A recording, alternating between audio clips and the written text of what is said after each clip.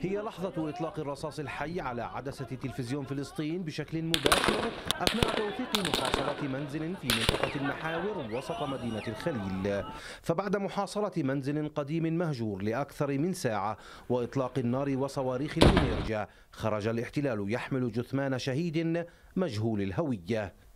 ويدعي الاحتلال بأن هذا الشهيد هو منفذ عملية إطلاق النار على مركبة أدت إلى مقتل ثلاثة إسرائيليين في شارع 35 بين بلدتي إذنا وترقوميا. ساري العويوي تلفزيون فلسطين. ابقى معنا ساري العواوي من الخليل. ساري أهلا بك. يبدو أن الشهيد غير معلوم الهوية أو مجهول الهوية يعني عرفت هويته. أترك لك مزيد من التفاصيل ساري. يعني بحسب هيئة الشؤون المدنية والارتباط الفلسطيني الشهيد هو مهند العسود من بلدة إذنا غرب محافظة الخليل ارتقى كما شاهدتم في التقرير بعد أن حاصر الاحتلال المنزل القديم المهجور في منطقة المحاور لأكثر من ساعة.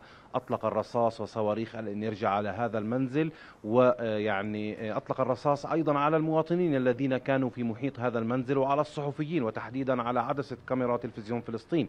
وبعد أكثر من ساعة خرجوا يحملون جثمان الشهيد الأسود من تلك المنطقة متهمين هذا الشهيد بتنفيذ عملية هذا اليوم بإطلاق الرصاص على المركبة الإسرائيلية على شارع 35 بين بلدتي إذنا وترقوميا بتنفيذ هذه العملية التي أدت إلى مقتل ثلاثة إسرائيليين وبالتالي الاحتلال بعد أن حاصر هذا المنزل بطريقة همجية وبطريقة وحشية وأطلق الرصاص واستخدم كل أنواع الأسلحة على هذا الشاب ارتقى شهيدا وتم احتجاز جثمانه وأخذه من قبل جيش الاحتلال الذي أطلق الرصاص بشكل همجي على المواطنين الذين كانوا في محيط هذا المكان يحاولون معرفة ما يجري بعد أن وصلت قوة خاصة إلى المكان وهاجمت مجموعة من الشبان كانوا يعملون في البناء في القرب من هذا المنزل المهجور. وبعد ذلك تفاجؤوا بإطلاق رصاص حي بكثافة على هذا المنزل دون معرفة ما السبب. وبعد ذلك اتضحت الأمور بأنهم يحاصرون شاب داخل هذا المنزل وهذا الشاب ارتقى شهيدا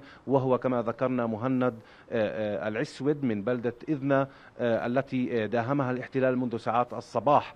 وهو يقتحمها ويقتحم المنازل فيها ويصادر كاميرات المراقبة في كل المحافظة التي أغلقها بالكامل. بالمكعبات والسواتر والبوابات الحديدية ومنع الدخول والخروج حتى وصل إلى هذا الشاب. ما زال هناك تواجد لجيش الاحتلال في مناطق مختلفة من المحافظة تحديدا سنجر الواصلة بين مدينتي الخليل ودورة ولا نعلم طبيعة ما يجري هناك ولكن جيش الاحتلال يمنع أي أحد من الاقتراب إلى تلك المنطقة وأطلق الرصاص على مركبة قبل أكثر من ثلاثة ساعات. مركبة فلسطينية لم يصب أحد بالرصاص ولكن حاول أكثر من مرة إطلاق الرصاص على المواطنين في تلك المنطقة وأطلق القنابل الصوتية والغازية. هذا المشهد أيضا تكرر في أكثر من مكان تحديدا في بئر المحجر في وسط مدينة الخليل بعد أن أيضا داهموا المحال التجارية وصادروا كاميرات المراقبة. حاولوا إطلاق النار على أكثر من مواطن في تلك المنطقة تحديدا مواطن من عائلة يغمور في تلك المنطقة وتم اقتياده واعتقاله إلى جهة غير معلومة. إذا يعني مي شهيد برصاص الاحتلال بعد محاصرة منزل مهجور لأكثر من ساعة وتم احتجاز جثمانه ويتهمه الاحتلال بتنفيذ عملية إطلاق النار في صباح هذا اليوم والتي أدت إلى مقتل ثلاثة إسرائيليين على شارع 35 الرابط بين بلدتي إذنا وترقوميا حتى هذه اللحظة أنباء تتحدث عن محاولة أو استعداد الاحتلال لاقتحام منزل الشهيد في بلدة إذنا حتى هذه اللحظة حتى خروجنا على الهواء لم لم نتأكد من اقتحام جيش الاحتلال للبلدة ولكن هناك تواجد مكثف لآليات الاحتلال على مدخل بلدة إذنا ربما استعدادا. لاقتحام نعم. منزل الشهيد في يعني بلدة أنت إذنا تتحدث شمال نعم. غرب محافظة الخليل أنت تتحدث وأنا أتابع على الشاشة مشاهد صعبة محصرة نعم. منزل إطلاق النار ومن ثم وضع الجثمان في كيس ونقله مع الجنود في السيارة العسكرية في هذا الجيب العسكري. كنتم موجودين موجودين وشاهدتم هذا المشهد يعني بشكل مباشر.